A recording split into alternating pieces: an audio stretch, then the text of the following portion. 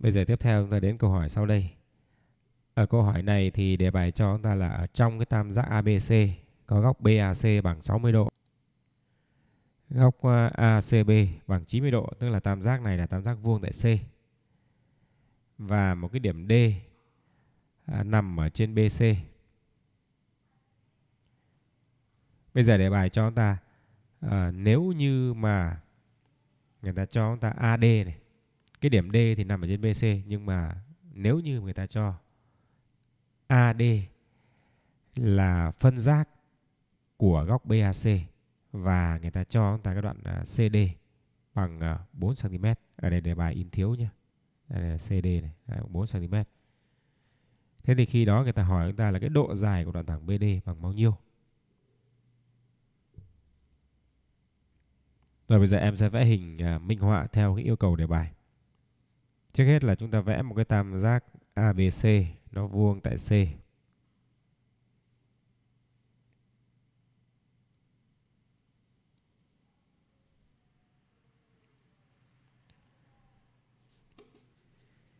Thế và ở đây à, chúng ta có góc A này bằng 60 độ này. Góc trên này bằng 60 độ này. Đây là C, đây là B. Có một cái điểm D ở trên BC mà nó thỏa mãn cái điều kiện là AD là phân giác của góc BAC. À, như vậy chúng ta vẽ để phân giác.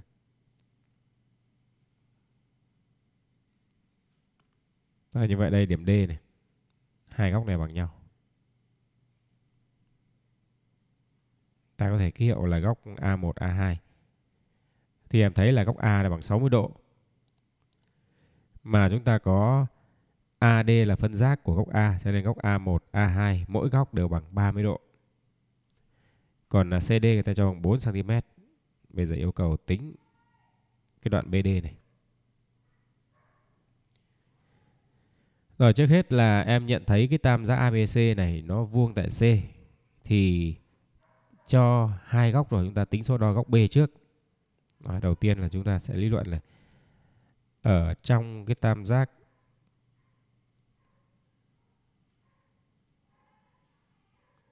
ABC thì em à, suy ra được góc B. Em sẽ lấy 180 độ trừ đi tổng của góc C cộng với góc BAC. Góc C là đứng một mình chúng ta không cần phải ghi cụ thể đâu, chúng ta ghi tắt cũng được là C cũng được. Rồi, cái này bằng 30 độ. Thế bây giờ làm thế nào để tính DB? Thì chúng ta sẽ đi à, tạo ra một yếu tố như sau. Từ cái điểm D này, chúng ta kẻ DE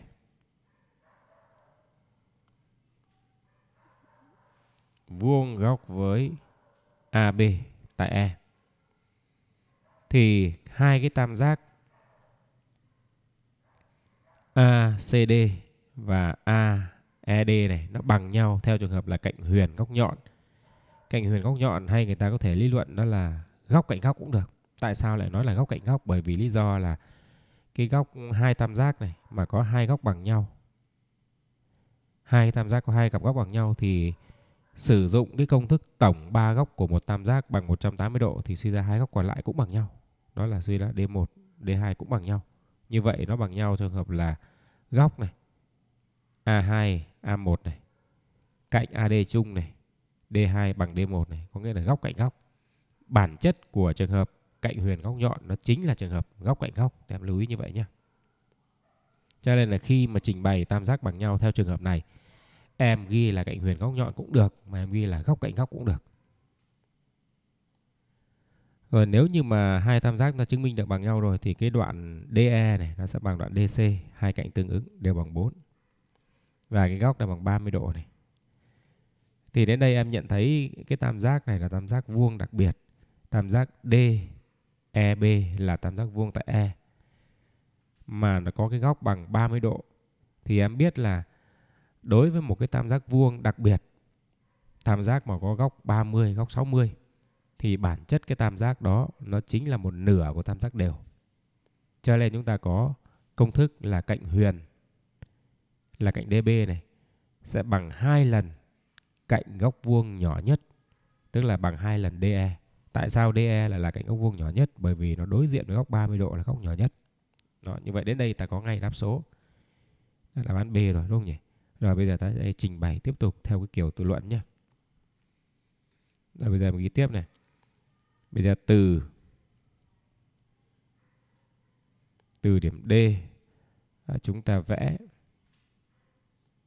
DE vuông góc AB